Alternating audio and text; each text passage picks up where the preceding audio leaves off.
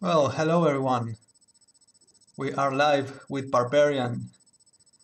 So my name is Ian, and um, this is a game I used to play when I was a kid. Uh, it's uh, one of the most difficult games I ever played, not because the game itself was difficult, but you will see the way it is played. In fact, it's a very competent game by its time, and it's a really nice animated and uh, it has lore, it has a nice story, it has a lot of things that make a good game except for the, the controls. So it's a 1987 game, so you can see by its time it was pretty good. Um, the thing about this game is that you would think, and it's a very good game to be played with normal controls, like the arrows, uh, perhaps the space to, to swing your, your sword or whatever. Uh, but no, for some reason, and I cannot understand why, the programmers decided to make this game um, controlled by the function keys. So that row of keys that are on the top of your keyboard. So it's a it's a, it's a uh, just this this row and nothing else, and that makes for an interesting uh, mechanic. I I'm going to show you how it's played in a little bit. Um, the actual part uh, of this run is the fact that I did a TAS, which is a tool assisted run, also called, as, called uh, known as TAS. And um, in doing it, I wanted to pursue the fastest solution to the fastest uh, um, end game possible. But in the process, I figured out that the fastest solution was also pacifist. So as long as you don't kill anyone, you are also in the course of being the, the fastest possible. So without further ado, let's see how the game is played first. So for this I'm going to use a gimmick, which is turning my camera down. So now you should see my keyboard, and I'm going to turn the light on. So this is my keyboard, and I'm going to display the function keys. So you can see here, right? So, oops. I'm going to start the game and you will hear so warning. Barbarian. sorry that was a, uh, that warning wasn't too uh, too timely. But anyway this is the game right? This is a famous barbarian uh, starting noise. And and the funny fact is this is one of the first synthesized voices made over the PC speaker made in DOS at least. And imagine you bought this game or you brought it home and this is the first impression you got of the game you would you would think you are in for a treat. But then the game starts asking questions and this is what it gets funny. So select control device and no matter what you choose here you're you um, are going to have a bad time. So let's choose keyboard sorry I didn't mean to move that. Yes. keyboard so now you select the speed and this option was merely to compensate for the fact that in the time in the time that game came out there were many different CPUs to choose from and many different frequencies and there was no actual timing uh, universal timing for the games so you had to choose something that was more um, appropriate for your computer. So since I'm running this in, the, uh, in DOSBox in 20,000 cycles if I choose speed 1 um, you will see the game is impossible to control. So something like that, right? I propose we die, die and try again with a much better speed, which is 4. And now we can start. So let's talk about the controls here. You can see my fingers. The controls go from F1 to F11 if I'm not wrong. Um, F1, 2, 3, and 4 are directions, so I can go to the left and die, sorry. I can go to the right, and F5 I can stop, F6 I can jump, that's a monster, let's go back, um, F7 I can run, but I need to remember that F5 stops, because if I don't stop in time, I'm going to die, and that happens very, uh, very often. Uh, F8 attacks, so F8. So you need to memorize and you need to lose all of your um, your your brain's um, mechanical motions or the, the, the, things that you're used to and start rewiring your brain for this control scheme. And there's still more things to be done. If you press, oh, that was a surprise. If you press uh, F9, um, F, oh no, see, I, I'm still confused to this day about this control. So if you press space, you get to this menu where you can pick up or leave your your sword in the ground. So it's not that you go over the sword and it's automatically picked up as you will imagine in a good game, but you have to basically you walk, you stop, you press space to change the menu, and you press pick up to get the sword. Then you select the sword, then you come back, and that's it. So it's a whole process to make the the pickup of a of a, a sword, an arrow, or a, or a bow.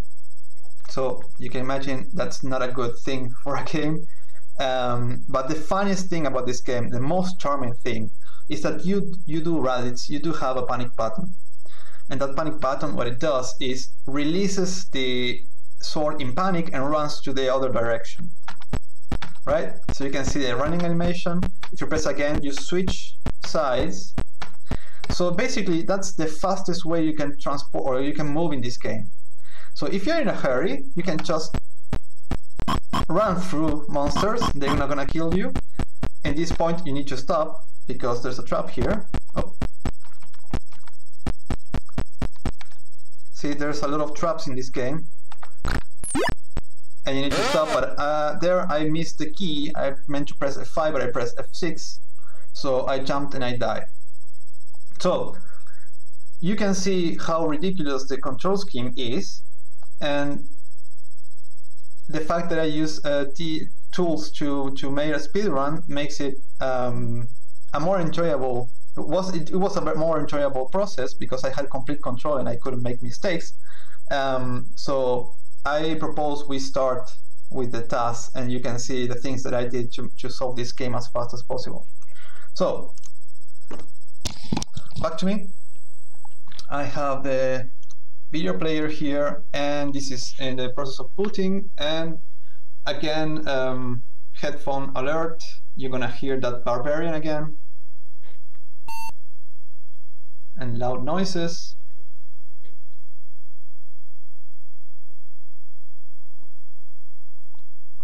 So, there you go again. Barbarian. And now the menus are, of course, selected as fast as possible, and then the game starts. So first, first things first, um, since it's a speed run, I choose the, the chose the, the fastest way to transport, which is just to run in panic. So there will be a lot of panic running here. As you can see, this first enemy you can just run across. He's not gonna kill you if you don't stay um, in the place. You can keep running in this uh, part.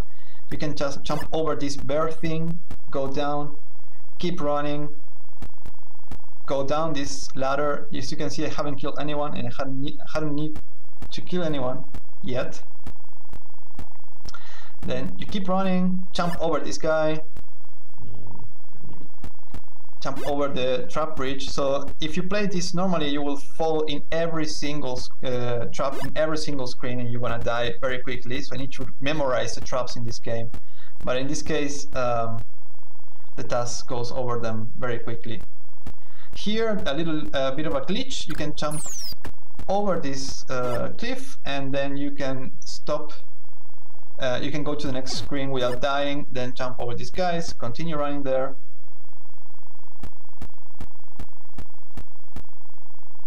And this game, this TAS is all about running. Here we take um, a fall death on purpose because it's faster to die from the fall and, and transition the screens than going down the stairs.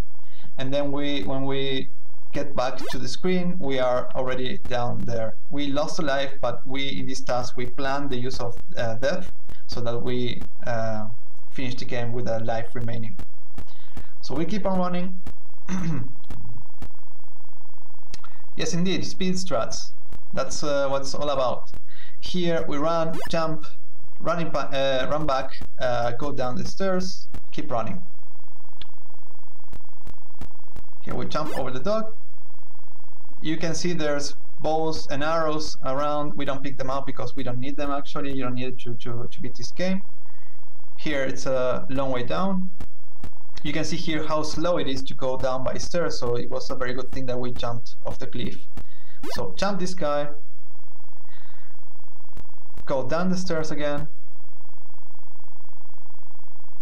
and this is um, four, the next four screens are just tools you have uh, against these cars, but we're not gonna fight anyone, we're just gonna run in panic and that skips them.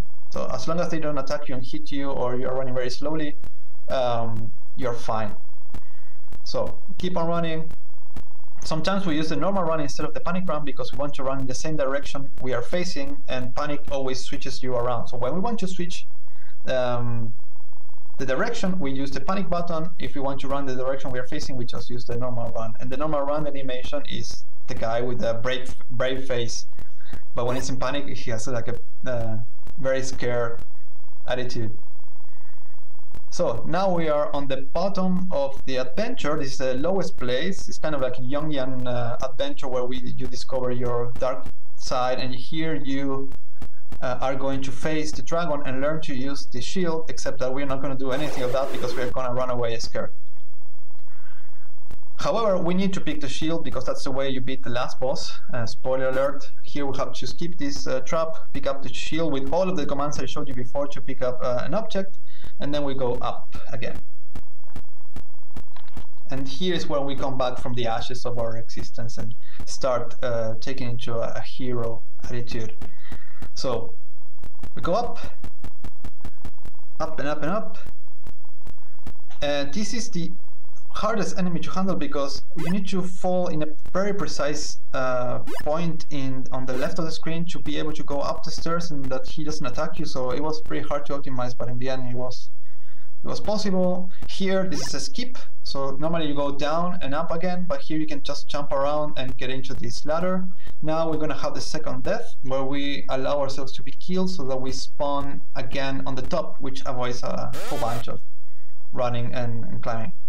So that's the second death for you. And we keep going. Keep running and beware of the traps. Here's a very nasty trap where we have to avoid for a, a couple frames before keep on running.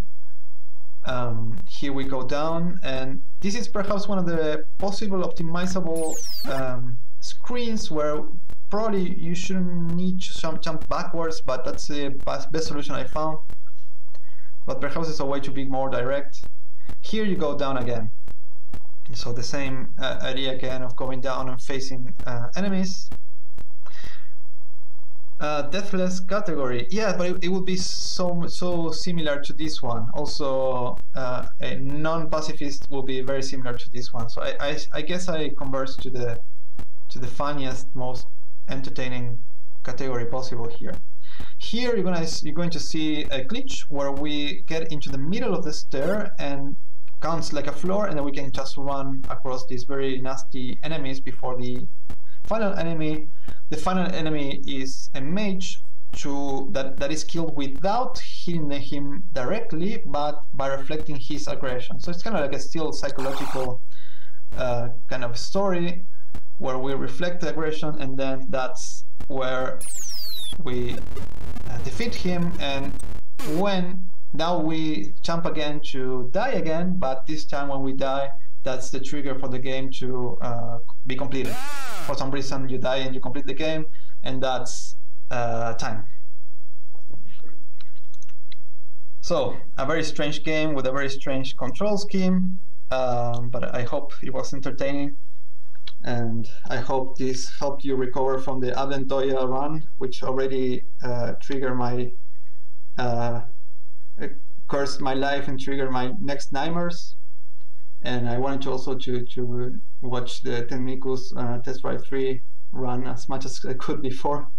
But um, I hope you keep um, enjoying enjoying this event.